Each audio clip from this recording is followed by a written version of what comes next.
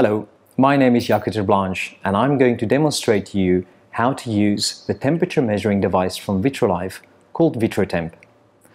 VitroTemp is a thermometer with a custom-made probe which is specifically designed to use with the Vitrolife square dishes and to measure the media temperature um, at which the gametes and embryos will be exposed to when they are being handled um, outside of the incubator.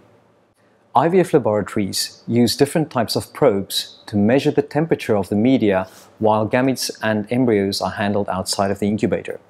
The VitroTemp use a completely different type of probe and a completely different type of design for the probe, which gives you temperature measurements that are accurate, stable and repeatable, and easy.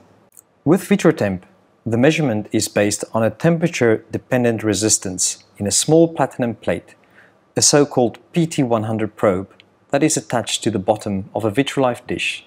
There is no copper in this probe.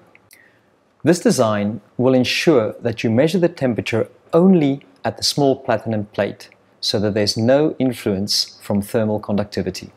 Furthermore, you will measure the temperature at the bottom of the dish, where the gametes and embryos are usually positioned during handling and culture. The use of VitroTemp does not include any handheld steps that can interfere with the measurements. And that makes VitroTemp very easy and straightforward to use. So let me show you how it works. To prepare a VitroTemp probe, aliquot media into the dish according to your normal procedure during routine handling and culture in the lab. Place the dish on the heated surface and allow it to fully equilibrate and take the reading. When measuring the temperature of media in droplets under oil, there is no need to use media. You will get exactly the same temperature reading by using oil alone. Now, during the measurements of media uh, in the dish, you need to make sure that the dish is completely flat on the heated surface. If not, it will create an inaccurate reading. The equilibration of the dish to the right temperature will take 10 to 20 minutes depending on the type of dish and the dish setup.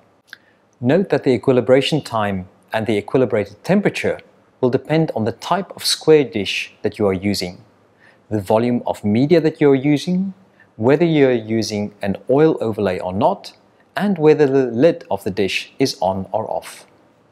Because of these variables, we recommend that you mimic your routine clinical practice exactly when you do the temperature measurements. Also, we recommend that if you are using different types of square dishes on the same heated stage to measure the temperature, that you choose the one that is the warmest case scenario, and that will then avoid that your gametes and embryos are exposed to temperatures above 37 degrees Celsius. VitroTemp comes with two different types of Vitrolife dishes, the 5-well and the 40mm culture dish, which will cover your need for temperature calibration.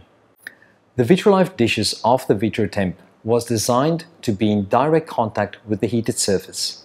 Now this means that if you are measuring temperature on the Vitrolife dishes, it will not be accurate when you are using dishes that are not in direct contact with the heated surface.